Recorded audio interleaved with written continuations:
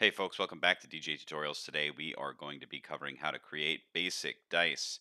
And this is going to be part of a longer series where we're going to be creating CGI board game assets that we're going to use for a overall project at the end for a product render, but this one specifically for dice and more specifically for beginners who really need to get their hands dirty with learning how to model and do some basic materials and all that kind of stuff. We're not going to be creating the bevel dice that you see on the screen in that thumbnail.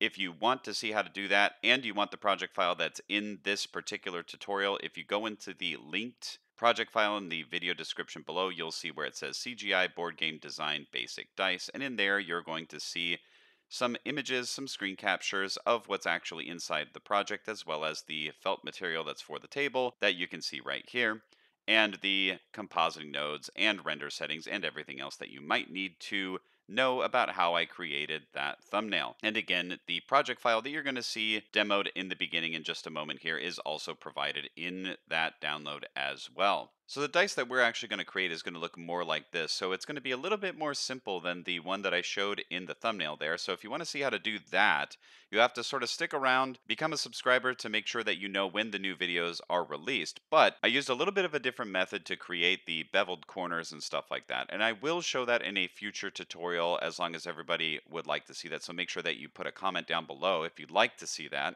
But we're really going to focus on making something a little bit more simple like this to be used in your product render. And for those of you who stick around to the end, I will show you how to turn your really cool gaming dice into a fuzzy dice like this. So that's a little bit of a bonus at the end of this video. So make sure that you watch the whole tutorial to make this really cool object like this right here. So without further ado, let's get started with the tutorial. All right, so here we are in a new project file, and we're just going to turn off the camera and the light up here, and you'll notice on the bottom left I have the screencast keys available. So if you get lost, you can just rewind it and take a look at what I did. That's going to be down here in the lower left. And we don't need the timeline down here, so I'm just going to left click and drag this down to remove that. And just a reminder, we're not going to be creating the more complex form that I showed in the thumbnail. We're going to be doing a more simplified version using a quad-based modeling system. And if you stick around till the end, you'll get to make some really cool fuzzy dice like what you see on the screen here. So if you make it to the end, you can see how to do that and it'll look really, really cool. So what we're going to do first is we're just going to go into edit mode here by hitting tab. And what we need to do is we need to slice this up into pieces so that we can actually inset what are called the pips, the little dots that go around on the edges of the, or on the sides of the six sided dice. Now, there is a way to project image maps and what are called normal maps to our object in order to get around the modeling part of this. But I'm going to show you how to do that later with what we're doing right now in the editing of this default cube here. So let's first start by modeling this object. So what we're going to do is we're going to press Control R, which is going to add some loop cuts. And if we roll up on our mouse wheel, you can see that we're adding some this way and then down you can press plus or minus, or you can just press a uh, number on your numpad, which it doesn't look like the screencast keys are showing that, but basically I'm hitting plus and minus and I'm pressing the 5 key in order for that to happen. I'm going to right click to undo that.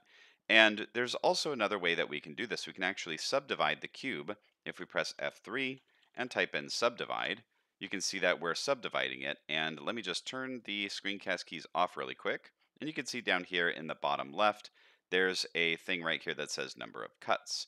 So if we move this up a bit, what we need to do is we need to have it so that on one side of these, right here, there are six that we can choose from. So you can see right here the number of cuts is four.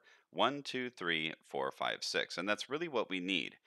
And on all of the outside here, basically, if you look at this, you can see that all of the sides here have four sides. All of the polys have four sides here. And that's really what we want. We want something that will retain this shape and a quad-based system when we're working inside of uh, Blender and most modeling tools, you really need to have this quad-based system. Other programs like SolidWorks and things like that will have a lot of tris that are used because it's more for engineering, but the quad-based system is going to be what we want to use for this particular object here.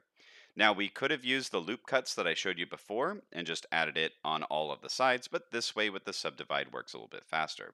So let's change up here our select mode to faces, and we can press Alt A to unselect all, and you can press A to select all. And by choosing these up here, we can go from vertex select, which will select these specific vertices. We can go to the edge select like this, and we can go to the face select. And what we want to do is select on all of our sides the number of pips that we need. So there's six there. Let's do five here. Let's do four here. And this might not be exactly what's on a D6, but you can, you know, do what's exactly on a D6 if you'd like as to where they are, but really this is a demo to show you how this kind of works and you can it really shouldn't matter because it's, you know, equal percentage chance to land on any of these sides, so it really shouldn't matter. So we have all of those pips selected, or all of the faces selected where we're going to create our pips. And there's a number of things that we can do here, but what we really want to do is we want to use these as a way to inset or make a new poly shape on the insides of these because if we were to do what's called an extrusion, I'll just show you, don't follow what I'm doing right now, but if we extrude from here, E to extrude, right click, Alt S, and then scale that in, you can see that there's a little bit of a problem here. We have these that are basically uh, not going to work out when we add what's called a subdivision surface modifier on here and this becomes basically an 11. So that's not really going to work, okay? And I'll show you what happens when it looks like this and we add what's called a subdivision surface modifier. You can see that it kind of messes everything up, okay? So we're going to press Control Z to undo that. And what we want to do is we want to inset these so that when we extrude in, it creates individual poly shapes. So let's hit I and hold shift and we'll move it in. And what we need to do is be a little bit careful. If I right click here and we take a look at our six side right here, and I hit I and then hold shift, you can see that it's not making these planes, these faces here individual. And what we have to do is we have to hit I again, which will then inset the individual, whoops, which will then set the inset the individuals here, like this here. And I'm holding shift to control this handle, you can see the dotted line that's sort of like shooting out from the center there. And we can left click to set that inset. Now when we hit E to extrude, right click, Alt S, because that's going to scale according to what's called the normals. It goes in like this. We now have the pips for each side.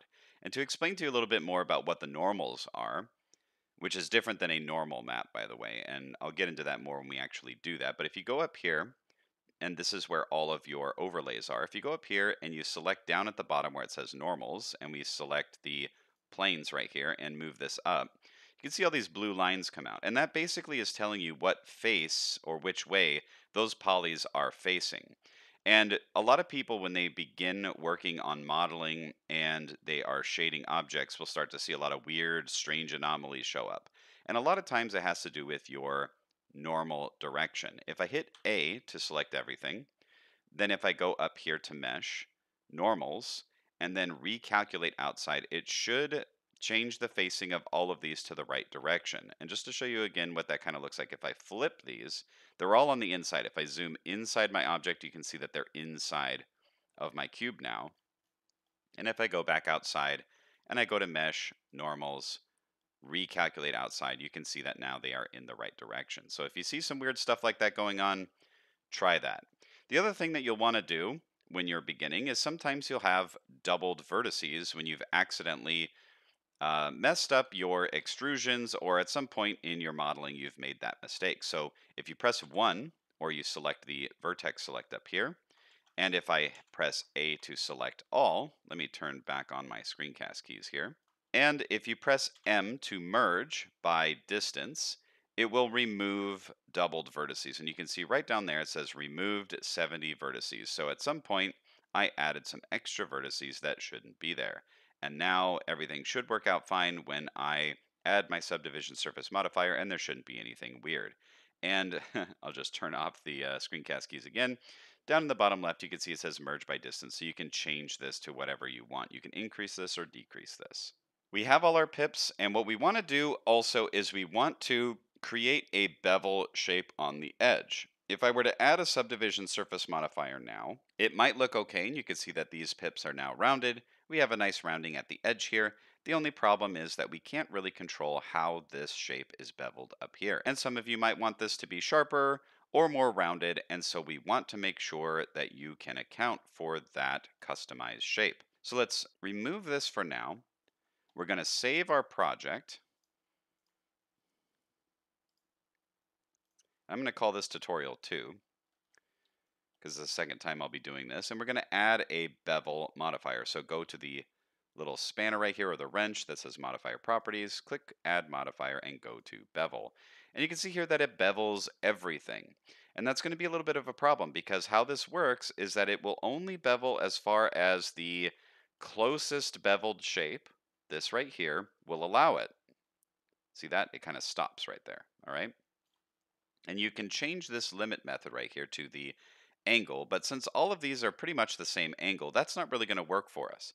So what we need to do is tell the program where we want these bevels. And there's a number of ways that we could do this. We can add a vertex group, which I'll talk about later. And we can use this one right here that says weight. And what we're going to do is if we go into edit mode, press 2, which will go to the edge select, we're going to select all of the edges around our cube. So if I hold Alt and you left click on a particular side like this, and be careful where you click, you might accidentally grab a loop like this. We want to grab these sections like this here. So I'm going to hold Shift, hold Alt, and select all of these edges. And I'm going to turn off the normal so you can see this a little bit easier. So we're going to go around the cube. We're going to select all of these edges here, like this. Make sure you've got them all. And press N if you don't have it open on the right over here. And you'll want to go to Item, and then down here where it says Transform, you can see there's vertices data and edges data. And where it says edges, we want the mean bevel weight to be a 1.0. And that's going to change the edge color. If I press Alt-A here, you can see there's now a blue color on the outside. Let's hit Tab to go back into object mode. And then over here, you can see that we have the angle for the limit method. Let's change that to weight. And now you can see that these here changed. If we go back to angle, you can see that they're beveled. And when we go to weight, now they're not beveled. And we can change this amount now to be a lot more. So you can customize that to be as much or as little beveled as you'd like. And you can add a number of segments to round off those edges. To make all of these pips here round, what we want to do is add and what we'll do also to make this a little bit easier to see, if we go over here to where the shading properties are, and we press this little down arrow here, we want to click where it says lighting. Instead of studio, click on MatCap. And let's go and choose, let's do this one right here, because it shows, in my opinion, it's the easiest to see how your object is coming along as far as the edge data and how everything is being shaded. So it looks a little bit weird right now, and we're going to make this more rounded and smooth, but for the time being, let's keep it as is. What we want to do is add a subdivision surface modifier and make sure that this is below your bevel. If we put this above the bevel, you can see how it changes the information there on how it's being displayed. So the stack order over here is important.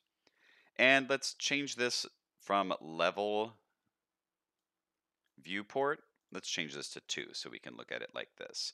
And from this point right here, make sure that your object is selected, right click on it, and then select Shade Auto Smooth. And that is going to make it to where the areas that are flat should be more flat, and the areas that should feel more smooth will be rendered a little bit more smooth. And you can see that we can still see this uh, this harsh angle on all of these edges here. So we can soften that up by taking the level of the viewport and the render and increasing that a little bit more. And now we have a more smooth circular shape there. And again, you can take this bevel and you can increase it or decrease it or change the number of segments. If we make it one like this, it's going to be a little bit more straighter as far as the uh, uh, angle change. And if you make it more uh, more segments here, it's going to sort of smooth all of that out. So it really depends on what sort of shape you want. And if we keep these all here as we design our object, we can change these and adjust them at any point without having to go back and redo anything with our object. So now what we're going to do is we're going to add some materials. And what I'm going to do is I'm going to make these a, fairly simple, a lot simpler than a lot of other people might do it, just because this is for more so beginners. So let's go into edit mode really quick here. And I'm going to show you how to select some things a little bit easier. So let's turn off the subdivision surface modifier right now, and we're going to turn off the bevel, and up here we're going to turn on the face select. And you can see that I have, let's actually change this to something a little bit darker so you can see it. You can see that I have this selected. I'm going to press Control plus, and what that's going to do is it's going to select more of an area. Then if I press F3 and search for Select Similar, what I'm going to do is select the similar area. And down in the bottom left, you can take a look at this yourself. You can see that there's area, equal, and then threshold. So you can mess with those if you'd like, but really you should be able to grab all of these specific sections. And you can press Shift G to bring up the select similar material and area and all of this other stuff here. So if we go here to our material properties, you can see we already have a material that's here. And we're going to press the Assign button, and we're going to change this name to Pips. Then we're going to press the plus button to add another material. We're going to press New, and we're going to add or change the name here to Base. And what we'll do is press Control I inside of the viewport, which will invert your selection.